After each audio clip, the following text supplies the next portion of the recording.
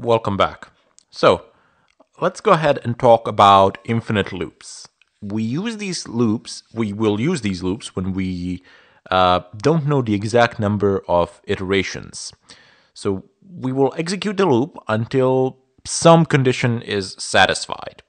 So, let's go ahead and take a look at the example where we have modified the previous example in which user keeps entering a number until the input is minus 1. So this, uh, I'm pretty sure you remember this example, and I have just modified it a little bit. The modification is here in the for loop. So let me just uh, do this. Has no difference in terms of the code. I just want to isolate this part for you so you can see it. So again, as before, we have int i equals 1. But hey, guess what? There is no condition in between, and the iteration keeps on going. So this is always true there is nothing to terminate this loop. And unless there is some logic implemented within the loop to actually terminate it, the loop will continue on running pretty much indefinitely.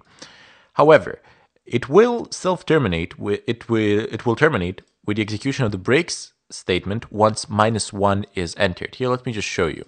I can build and run this and I can enter, you see, I can just keep on entering uh, numbers, but it will never end. So it will continuously keep on asking me to enter a number until I type in minus one.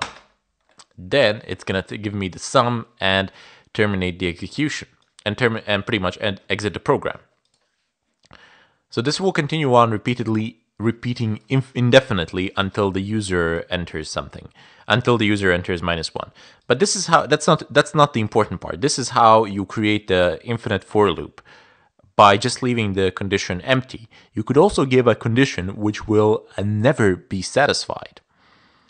Uh, perhaps not in this particular statement but however but there are there are there are some situations where you can do that Perhaps you can even do it here. I'm just too lazy to think about it now because it's completely relevant as you can just leave it empty and that's pretty much it. That's going to create the infinite loop without any problems. Now, the infinite version of the while loop, well, that's a this this would be it. So while and then you then you could just type in uh, true so while true, I don't know. Let's, let's go ahead and write some pseudocode. While true, I don't know, some code, blah, blah, blah. And down below we could write an if statement like we did before, some, uh, some condition, and then you would have break.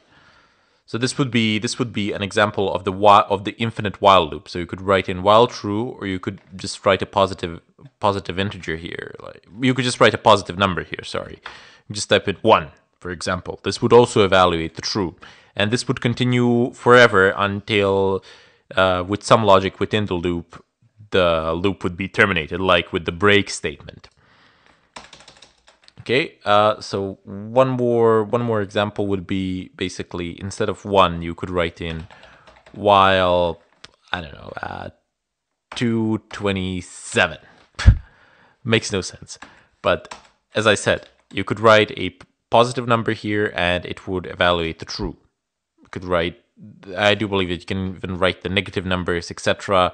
I do believe that I have shown that in the previous examples, but I don't like to play around with these things while I'm coding.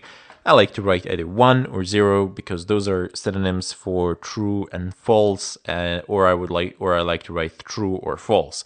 There is no reason why you should write anything else other than that if you just need the evaluation to be true continuously. However, you know, later on things get complicated. But for the time being, there is no need to use anything else other than true and false or 0 and 1.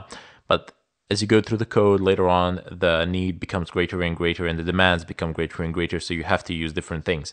So I could have written 227 here and this would also be an infinite loop. Anyway, that's all I want to show in this brief example here. Now, in the follow-up tutorial, I'll just explain nested loops, how you can nest them one in one inside of another, and that will be it as far as the loops are concerned.